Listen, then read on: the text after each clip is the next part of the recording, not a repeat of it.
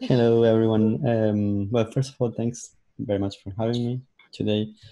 Uh, my name is Gonzalo Casas. I am a software engineer in in the Gramazio Kohler research team um, in the ETH Zurich. So, and today I want to show a little bit what what we are doing with um, fabrication, robotic fabrication in particular, and open source tools. Okay, so as, I was saying, I'm from Gramazio Kohler Research at ETH. Um, our our lab has over a decade of experience in robotic fabrication and an intensive track record in of working with different robotic systems, technologies, uh, materials, and so on, from everything from uh, small scale models to full scale architectural projects. And uh, throughout our research, the we, we ultimately aim at somehow redefining the role of architects in the in the future.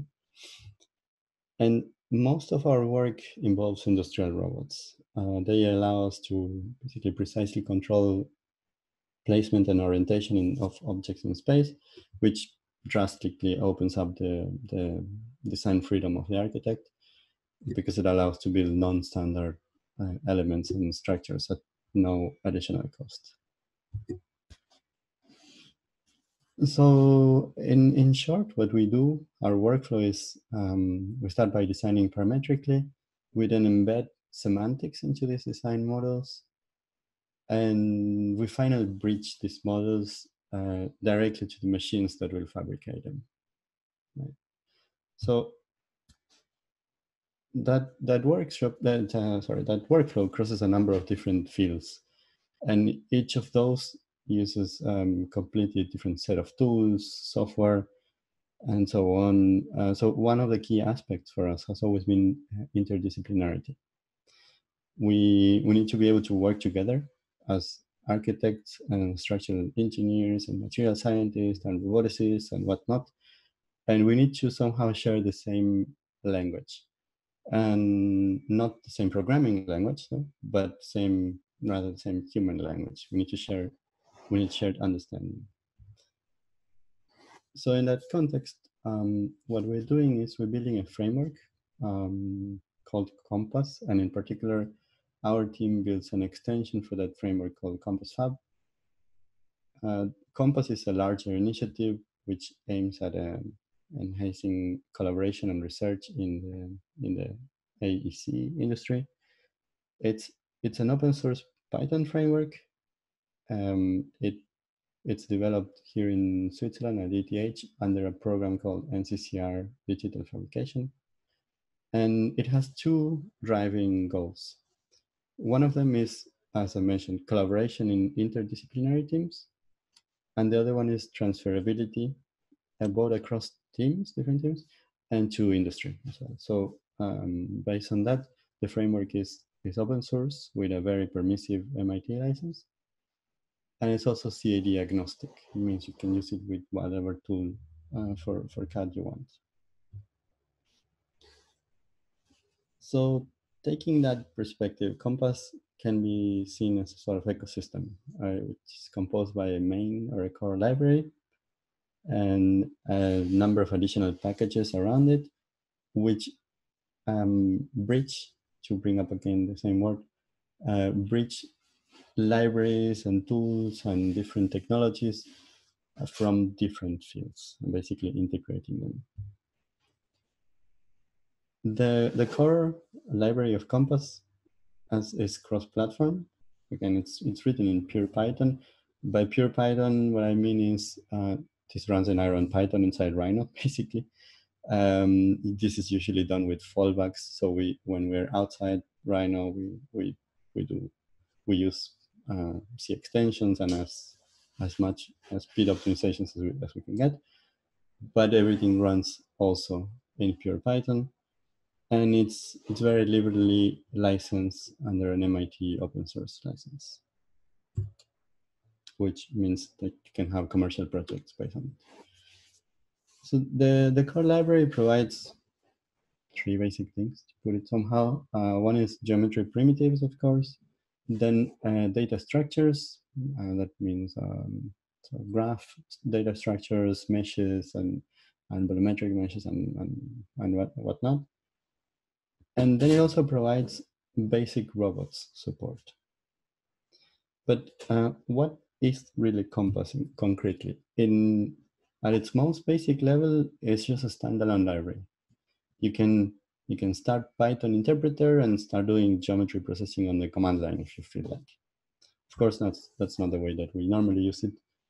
Um, it has some built-in standalone viewers like this one, but the normal way to use it is integrated in CAD.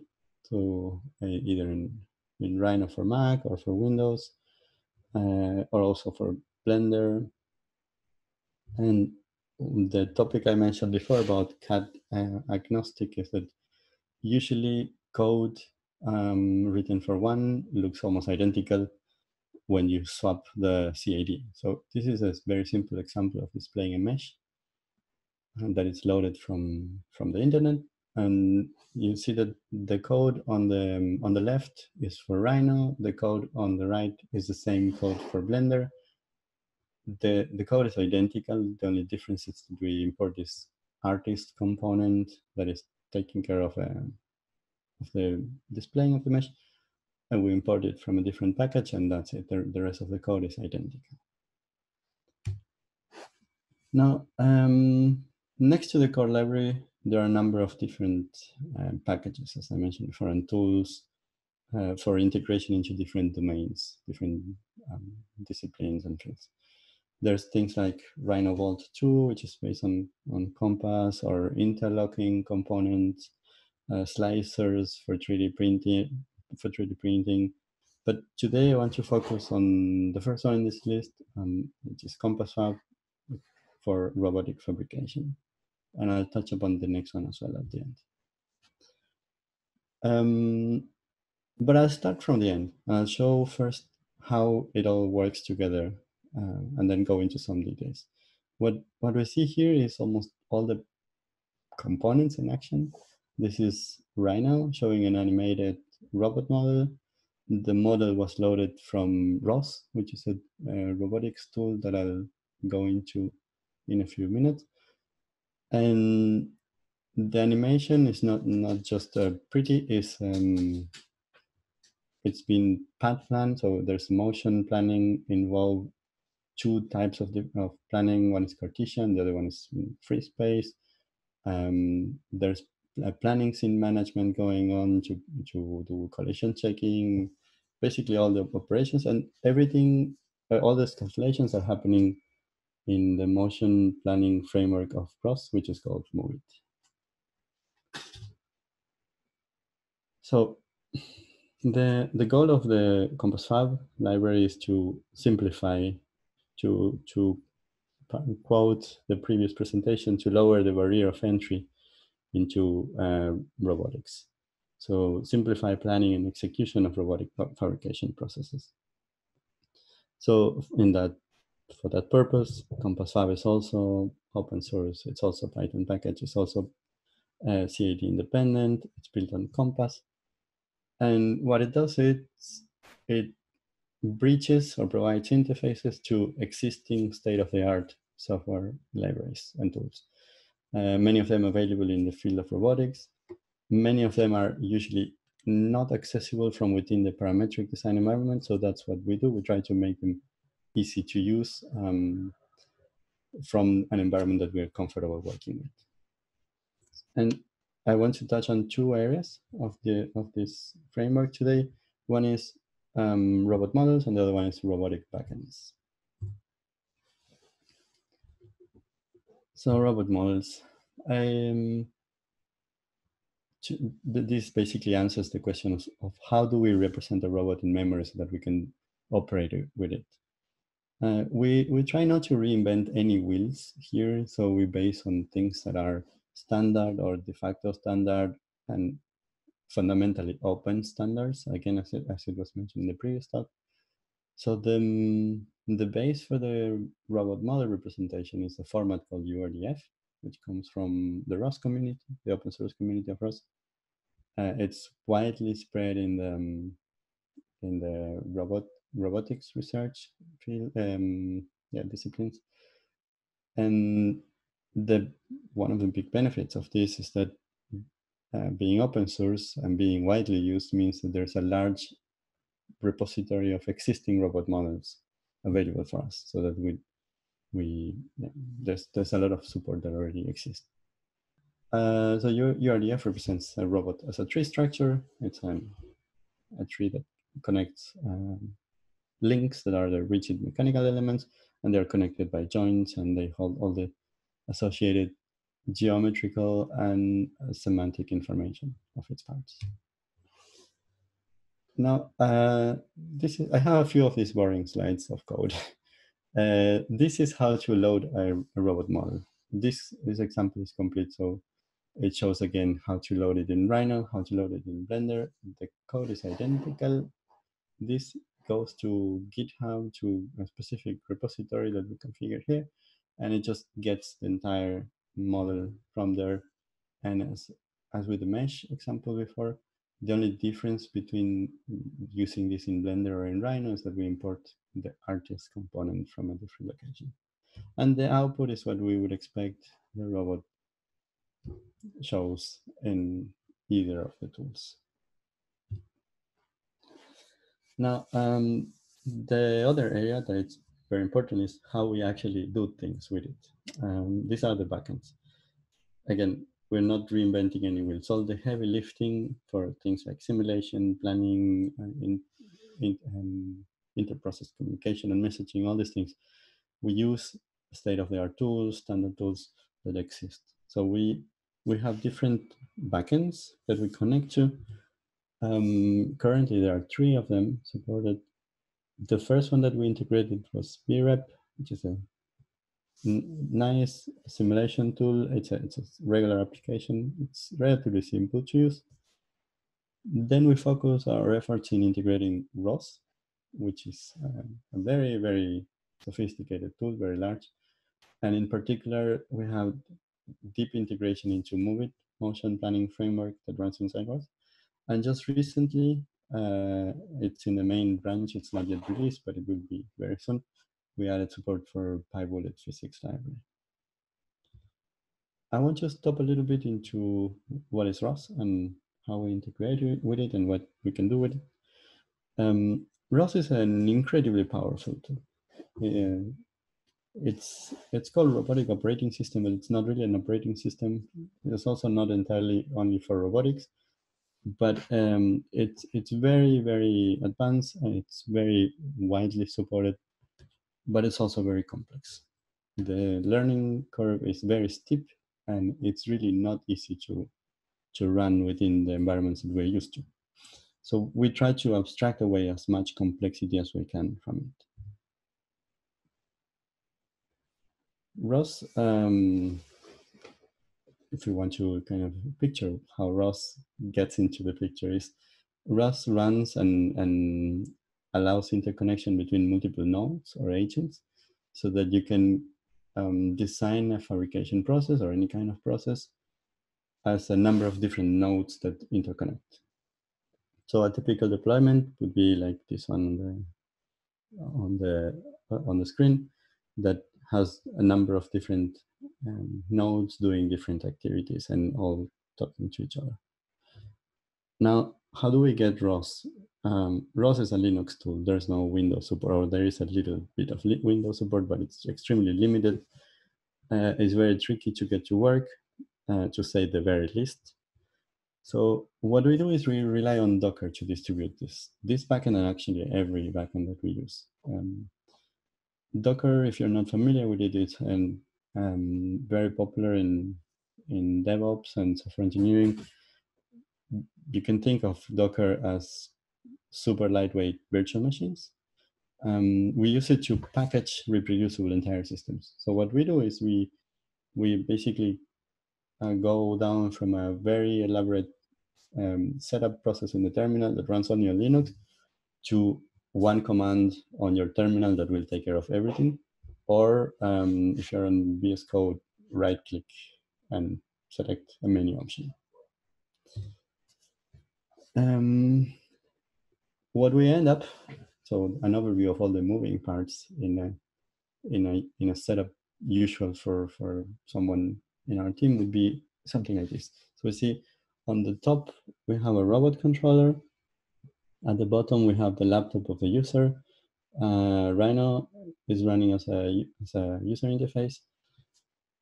Rhino will use, or the user, the architect or designer and, the computer will use COMPAS FAB to talk to the robot.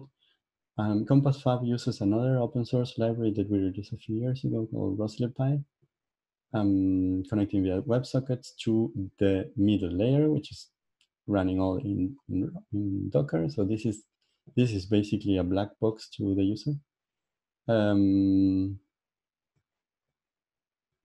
and from then on, we can connect to a robot driver, for instance, and then the robot driver will talk TCP sockets to the robot controller.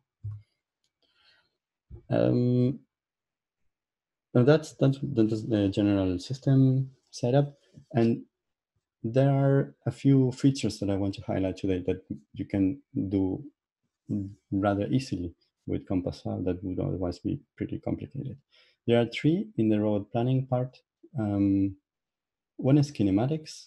So how do you do, how do you resolve forward kinematic function, which means if you, um, how do you get the position of the end effector of the robot based on the current configuration of the robot? The inverse kinematics function would be the opposite. How, how do you get the, the potential configurations of a robot that uh, if you want to reach a certain point in space? Then another large topic is motion planning. How do you how do you manage to go from A to B and under which conditions or um, constraints you do that? And then planning scene operations. How do you manage, how do you make sure collision checking how that works? Now, the first few slides are intentionally very boring um, because they show how easy it is to calculate these things. The, this example, for example, is how to calculate forward kinematics.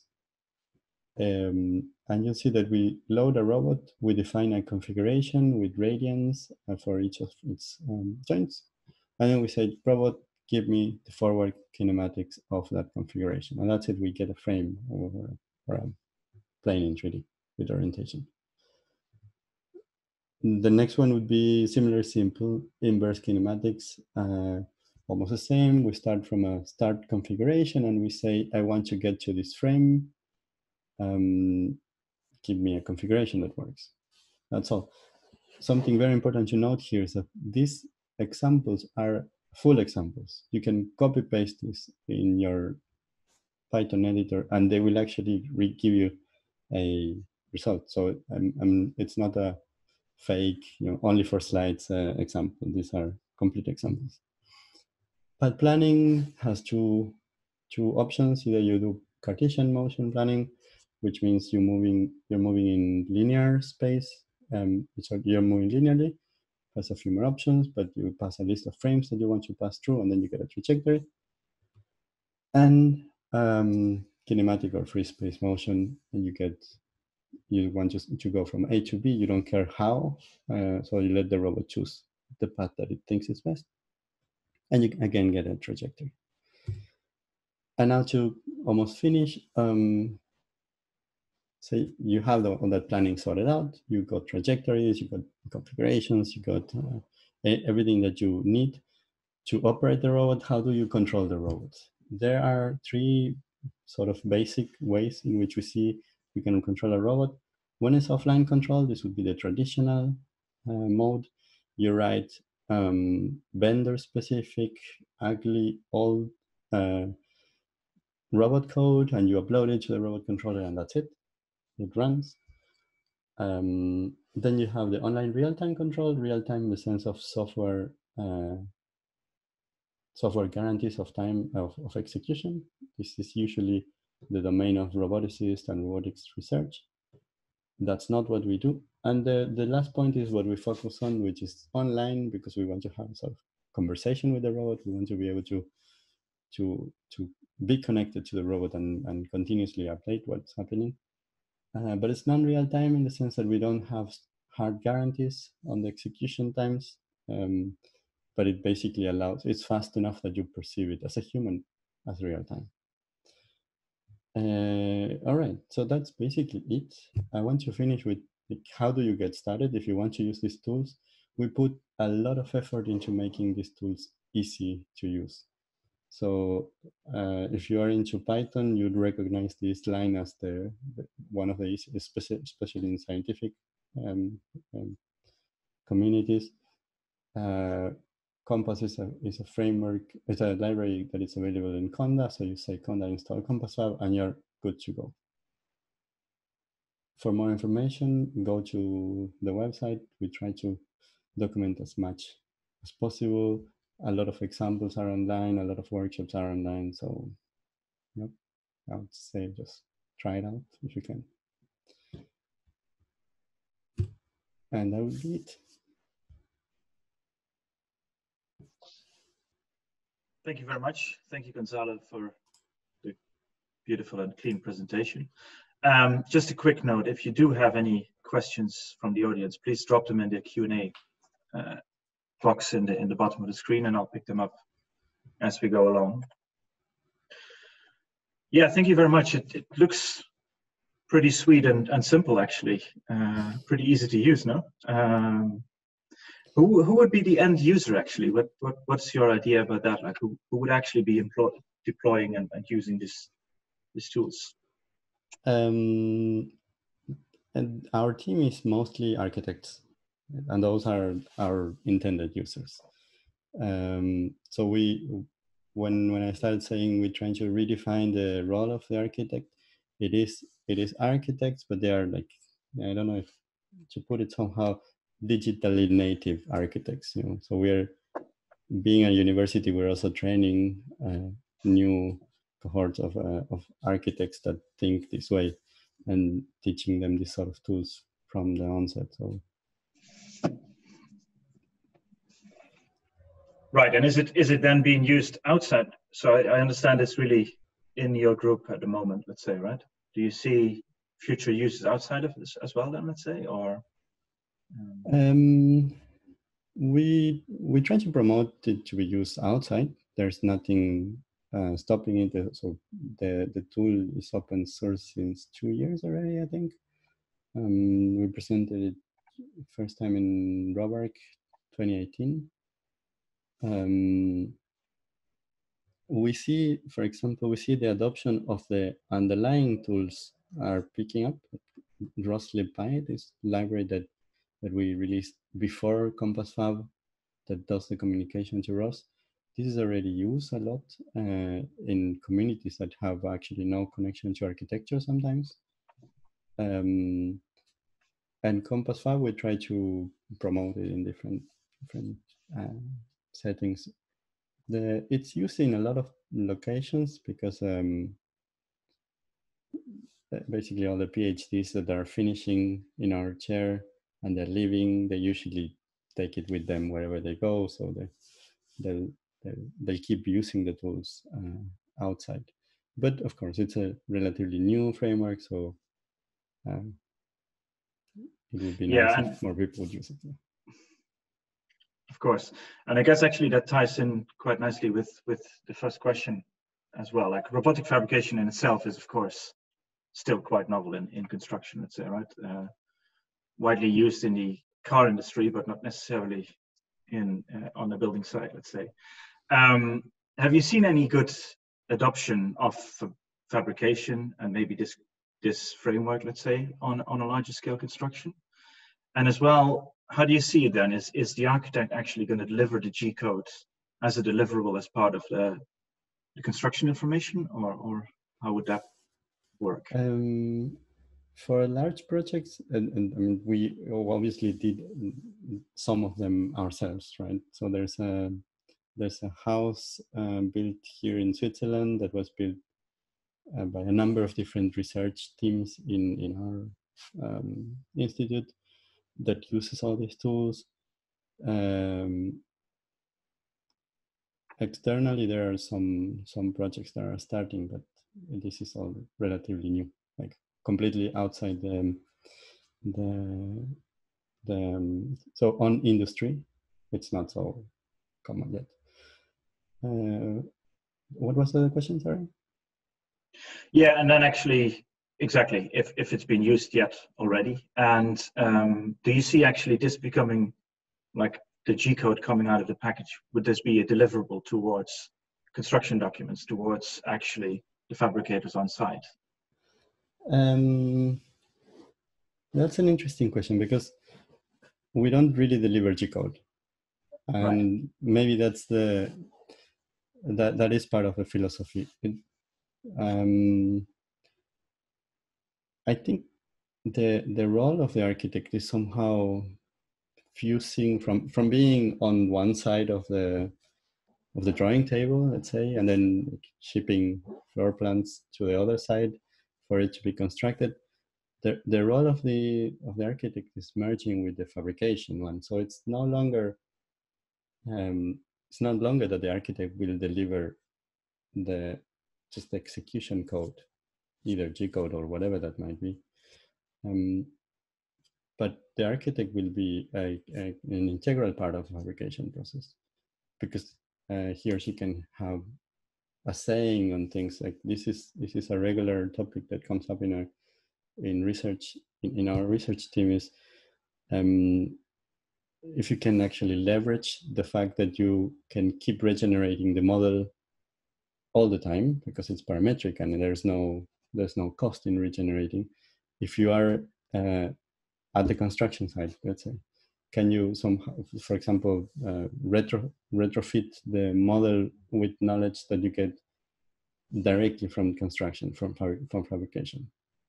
So yeah um, we'll see how the how the whole thing evolves but uh, definitely i see a need of a redefine re, re, redefinition of the of the role.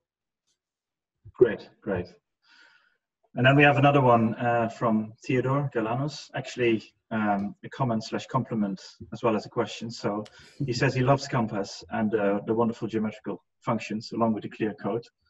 And also thanks for sharing it openly.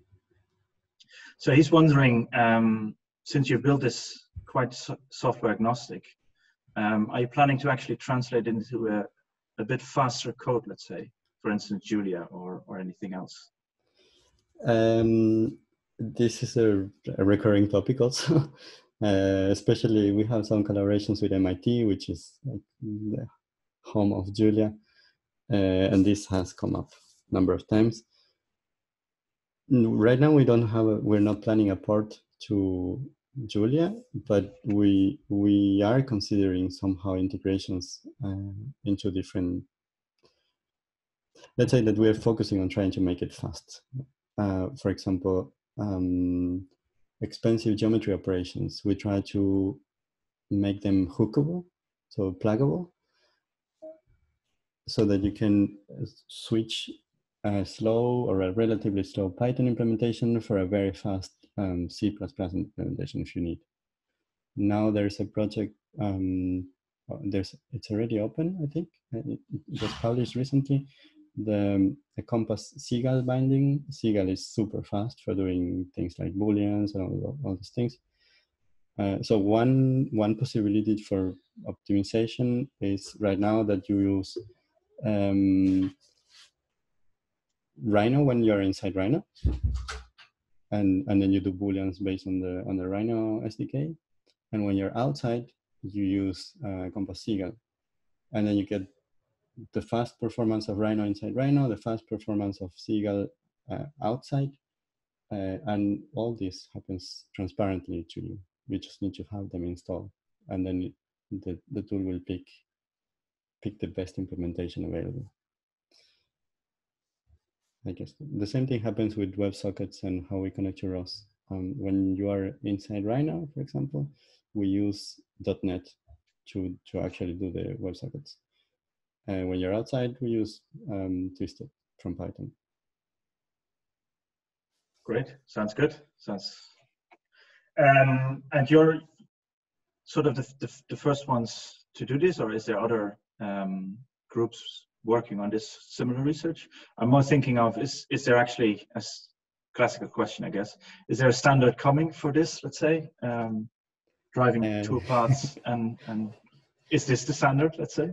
I, I, I guess you're maybe you're familiar with this um, XKCD. Uh, I didn't want to bring it up, but yes. Yeah, we are very aware of that, and we don't want to be the yes, we need a new standard. Let's reinvent the wheel.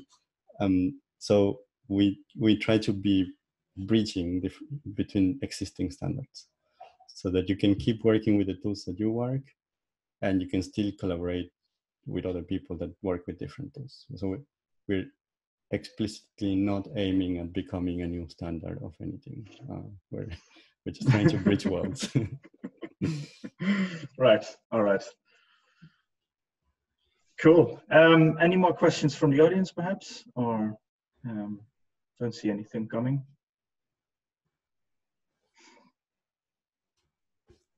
No, nothing coming up yet. Um, I think that's great. I think we'll we'll wrap it up here then uh, and move on to the next speaker. Thank right. you very much. And Thank you. yeah, looking forward to get my hands to it and play a bit of myself. Thank you very much. Thank you.